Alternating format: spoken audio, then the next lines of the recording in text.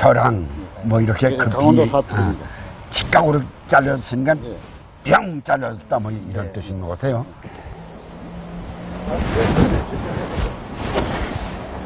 이렇게 네, 또 제쳤다가 제가 직접 뗏목을 저어봤는데 이거 보통 일이 아닙니다. 영월 사람들은 이렇게 뗏목을 저어 700리나 되는 서울까지 목재를 실어 날랐다고 합니다. 그러니까 이 한옥 짓는 사람들은 이 강원도를 늘 출입을 한다지 않습니까? 조- 좋은 나무 발견을 하고.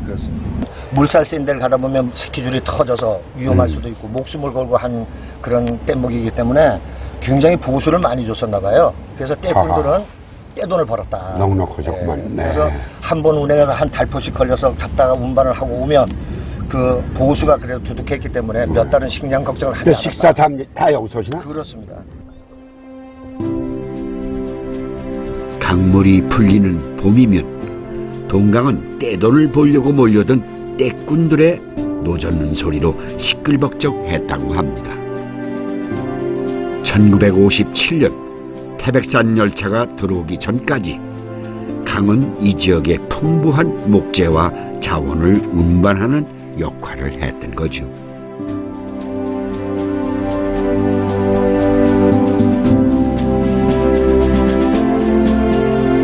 시절 아름드리 나무가 울창한 이 숲은 단지 집을 짓는 목재로 쓰인 것만은 아닙니다.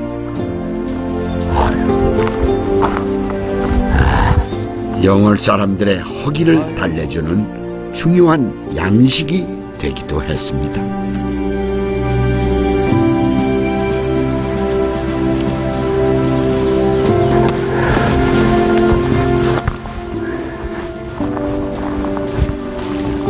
우리가 아주 극심하게 굶주린 시절을 표현할 때 찢어지게 가난하다는 말을 합니다.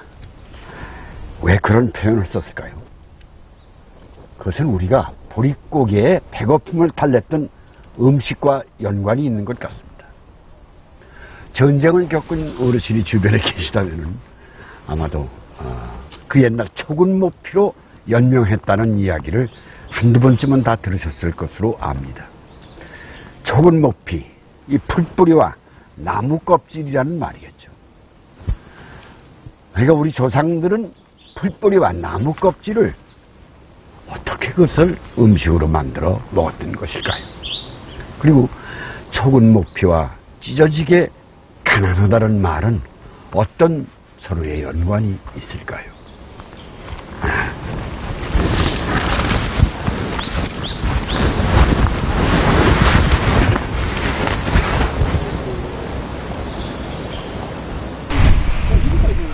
앞산 뒷산에 빨랫줄을 메고 산다고 할 만큼 험한 산세를 가진 영월군 예밀리 강물이 풀리고 얼었던 땅이 녹으면 마을의 약초꾼들이 본격적인 산행을 시작합니다.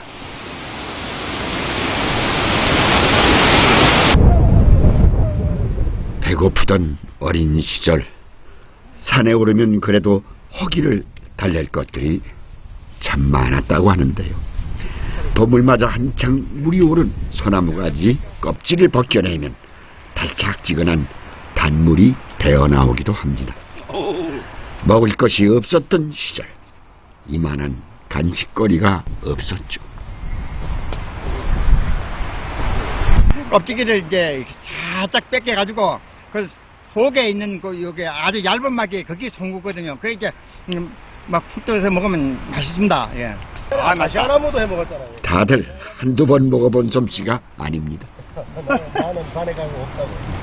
아니, 뭐, 이 저 봄 되면 학교 갔다 오다가 뭐 심심하고 또 뭐 배도 고프고 뭐 이러면 이제 그 찻길로 안 오고 큰 길로 안 오고 이제 이 산길 따라서 오다가 이렇게 소나무 꺾어 가지고 이렇게 까가지고 이거 송구도 해 먹고 이제 그랬던 기억이 있네.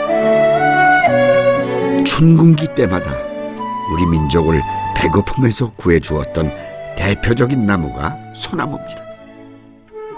조선시대 여러 문헌에는 소나무를 구황식품으로 활용하는 방법이 다양하게 등장하는데요.